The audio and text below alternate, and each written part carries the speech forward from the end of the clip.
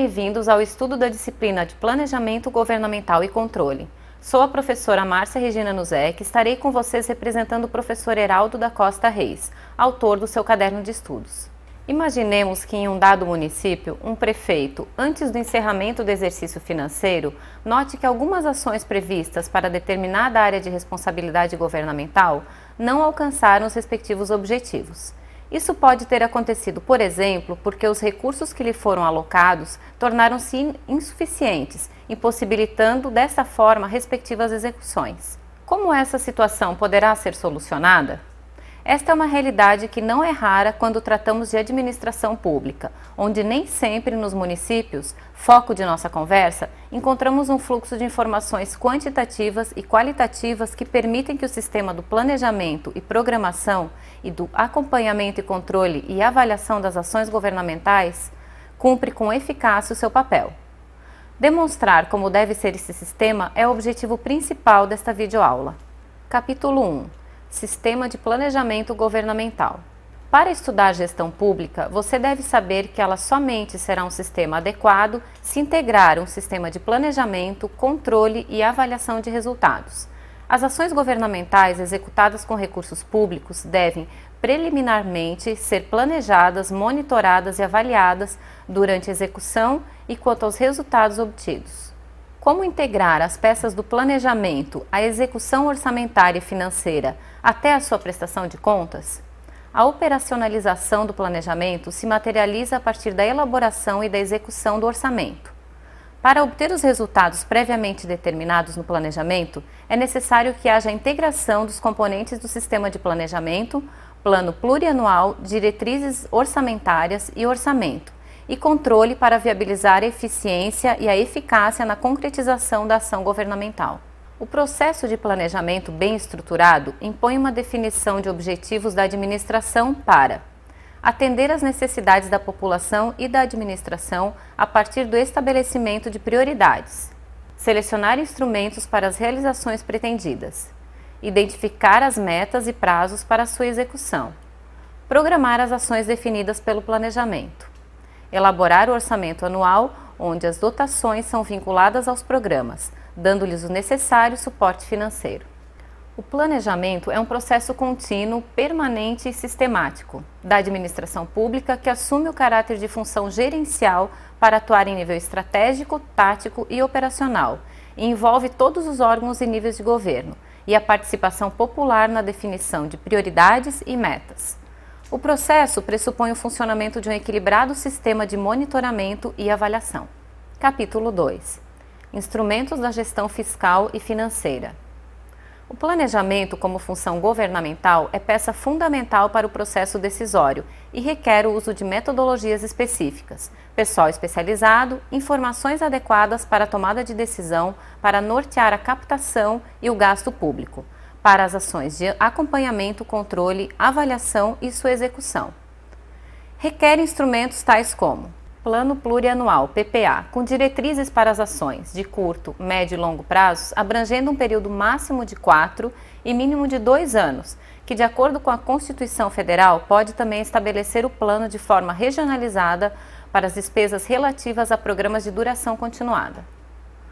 Plano de Diretrizes Orçamentárias, PDO, um conjunto de objetivos e linhas de ação que servem para orientar o desenvolvimento local e melhorar as condições de vida da população e que orientam a administração na elaboração do orçamento anual e no monitoramento e avaliação de sua execução. Orçamento anual reflete o planejamento de curto prazo. É um instrumento que expressa para um período de tempo definido, denominado exercício financeiro, as políticas, os programas de operação de governo e os meios de seu financiamento. Capítulo 3 Legislação aplicada à gestão fiscal e financeira. Os atos da gestão fiscal e financeira dos agentes da administração pública, políticos e administrativos são regulados por legislação, que dispõe que nada se faça sem autorização legal. Nessa legislação destacam-se as seguintes leis: Lei Complementar número 101 de 2000, conhecida como Lei de Responsabilidade Fiscal, a LRF que se baseia nas premissas do planejamento, controle, transparência e responsabilidade, e dispõe sobre as finanças públicas para a União, os estados, o Distrito Federal e os municípios.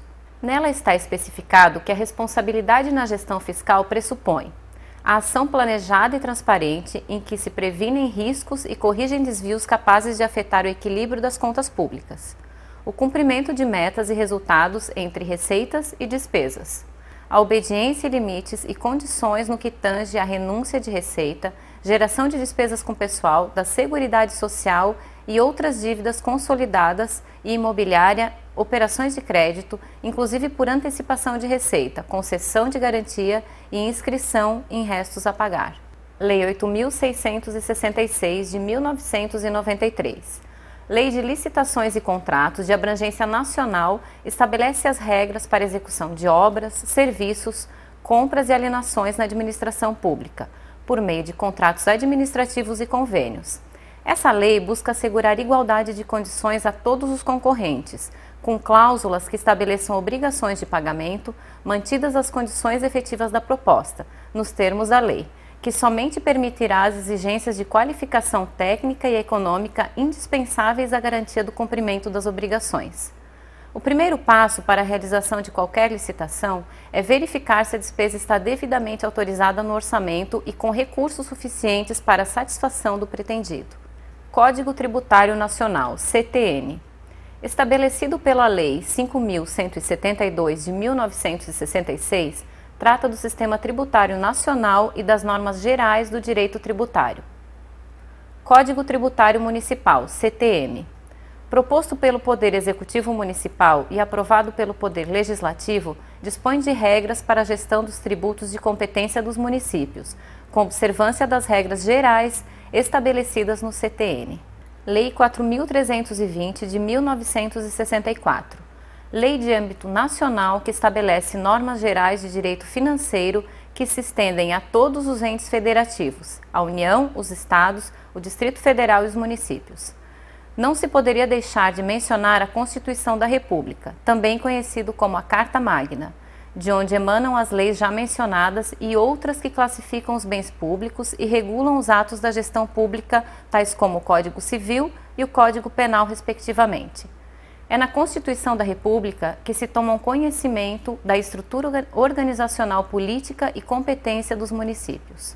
Capítulo 4 Sistemas de controle interno e externo. A administração de uma entidade de direito privado ou público é exercida por meio de ações coordenadas e planejadas, a que denominamos de funções administrativas: a previsão, a organização, a coordenação, a direção e o controle. A função de controle é indispensável para acompanhar e apontar falhas e desvios na execução de programas, bem como avaliar os resultados obtidos e velar pela boa utilização, manutenção, guarda e custódia dos bens e outros valores pertencentes ou confiados à fazenda pública. Verificar a perfeita aplicação das normas e princípios da contabilidade e da gestão e constatar a veracidade das operações realizadas. Como toda e qualquer atividade administrativa, o controle deve ser planejado. O planejamento do controle permite identificar o que controlar, como controlar, onde controlar e por que controlar. Há dois tipos de controle que são executados na administração pública: o controle interno e o externo. A. Sistema de controle interno. O sistema de controle interno, de acordo com o que dispõe a Constituição Federal, deve ser organizado e mantido de forma integrada no âmbito de cada poder para avaliar o cumprimento das metas previstas no plano plurianual, a execução dos programas de governo e dos orçamentos.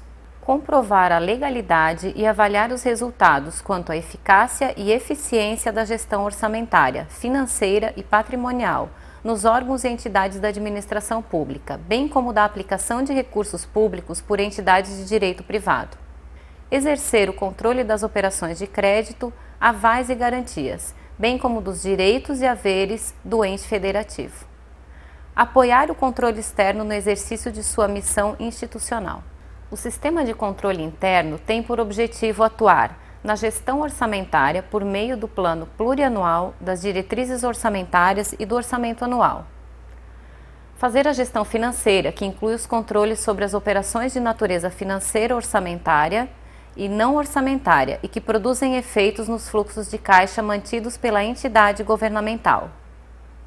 Gestão patrimonial, do que atua sobre o conjunto de bens e direitos onerados ou não por obrigações assumidas por utilização de capitais de terceiros. Seu objetivo é avaliar o desempenho da administração e evitar os desperdícios, danos ou prejuízos ao patrimônio governamental.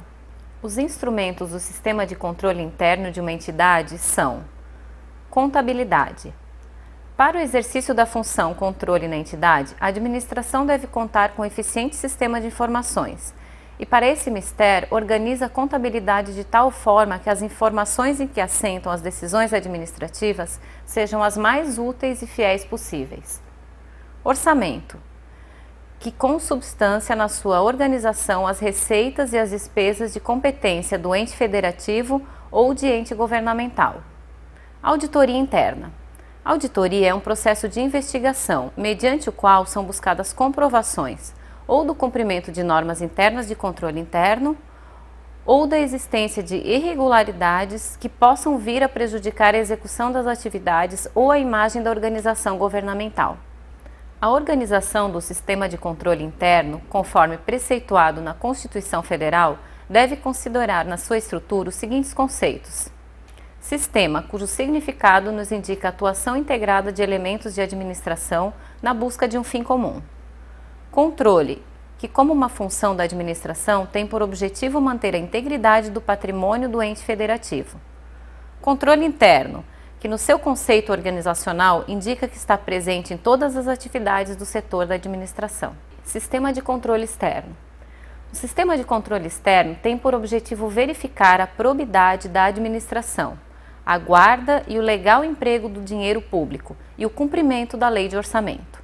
O sistema de controle externo é exercido por meio do controle social que é exercido pela população, onde podem ser destacadas as experiências municipais com orçamento participativo e as audiências públicas. O principal objetivo do orçamento participativo é ouvir a opinião pública sobre as ações que devem ser desenvolvidas pela administração do ente federativo.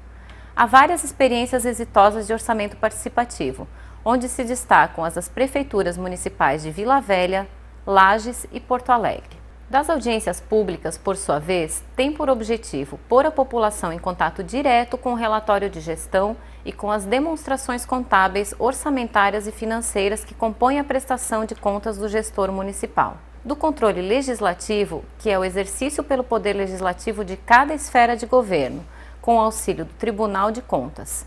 No caso da União, o controle se dá pelo Congresso Nacional, com o auxílio do Tribunal de Contas da União nos estados pelas assembleias legislativas, com o auxílio dos respectivos tribunais de contas estaduais, e nos municípios pela Câmara de Vereadores, com o auxílio do Tribunal de Contas do Estado, e onde houver por Tribunal de Contas próprio dos municípios, como é o caso de São Paulo e Rio de Janeiro. Capítulo 5 Prestação de Contas Dentre as práticas saudáveis em administração, destaca-se a que se refere à prestação de contas, mediante a qual o gestor, independentemente da entidade que dirige ou da atividade que gerencie, traz a conhecimento do público em geral os resultados obtidos de sua gestão. Conforme a sua periodicidade, a prestação de contas é elaborada por encerramento de gestão, que pode ser em qualquer momento do exercício em razão de substituições por descontinuidade em um setor da administração. Por encerramento do encerramento do exercício, como decorrência da aplicação da regra contida no 34 da Lei 4.320, de 17 de março de 1964. Nesse caso, a prestação de contas é feita apenas para dar uma satisfação sobre os resultados da gestão no exercício financeiro, que vai de 1 de janeiro a 31 de dezembro. Por encerramento de mandato. A prestação de contas tem o significado de apresentar ao sucessor a real situação econômica e financeira, social, administrativa e jurídica da entidade, a fim de que este possa iniciar a sua gestão. A prestação de contas é um ato praticado por pessoa jurídica ou física, pública ou privada, inclusive por agentes da administração pública que tenha sob a sua responsabilidade a guarda ou a custódia de valores de qualquer espécie representados por bens ou dinheiro, de propriedade ou confiados à fazenda pública. a execução de atividades públicas centralizadas ou descentralizadas, nas quais aqueles valores são empregados, tendo em vista a concretização de um objetivo. A Constituição Federal de 88 inovou no que respeita à função e controle interno, na organização do sistema de controle interno no âmbito de cada poder. A sua organização deverá inserir a contabilidade governamental que se incumbirá de gerar informações sobre as contas das pessoas físicas e jurídicas, públicas e privadas, inclusive dos agentes gestores governamentais, responsáveis pela guarda e custódia dos valores de propriedade da fazenda pública ou que lhe foram confiados. A contabilidade orçamentária, financeira, patrimonial e gerencial deve ser estruturada de tal maneira que possibilite a visualização das contas de cada poder. Assim, cada poder tem o seu próprio sistema de informação contábil, ao qual incumbe a geração de informações compostas de demonstrações contábeis e relatórios específicos, que possibilitam a visualização das contas dos agentes gestores governamentais e das demais pessoas físicas e jurídicas, públicas e privadas que com eles transacionam. Fato da maior importância é a prestação de contas de encerramento de mandato, que implica previdências de medidas no sentido de preparar a casa para receber o sucessor. São medidas relacionadas com a necessidade de informações sobre a conclusão da gestão. Deixa-se claro, entretanto, que o atual gestor, ainda que eventualmente seja reeleito, deverá observar as regras que a legislação estabelece para a gestão das finanças públicas. São as seguintes as providências que devem ser tomadas pela administração vigente, a fim de que a sucessora possa também preparar as suas para iniciar a sua nova gestão. Informações sobre a estrutura administrativa, pelas quais indicará como está organizada a estrutura administrativa. Dará o conhecimento da existência de órgãos ou entidades da administração pública municipal, centralizada e descentralizada, tais como autarquias, sociedades de economia mista, empresas públicas e fundações, por meio de leis e dos respectivos regimentos internos. Informações sobre o planejamento governamental e estrutura orçamentária, em que se destacarão as estruturas do plano plurianual, das diretrizes orçamentárias e do orçamento anual, elaborados para o período em que se iniciam os mandatos do prefeito e presidente do Poder Legislativo. Informações contábeis e financeiras pelas quais o prefeito e o presidente do Poder Legislativo, ao início dos respectivos mandatos, tomarão conhecimento das existências de bens numerários tangíveis e intangíveis e obrigações de várias naturezas assumidas na gestão que se encerra. Revisão da videoaula. Nesta videoaula foram apresentadas em rápidas palavras o que deve compor um sistema de planejamento e controle eficaz de uma boa gestão pública.